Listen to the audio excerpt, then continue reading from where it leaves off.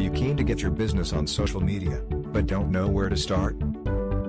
ScottHall.co's latest report discusses the difficulties frequently faced by businesses when attempting to measure social media success.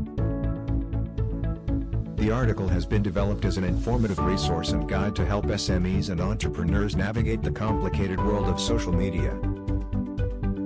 Scott also discusses the benefits of a clear brand strategy, and how this can be incorporated into your social media plan.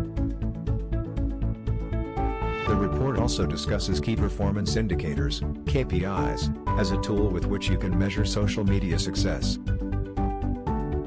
Visit the link in the description to find out more.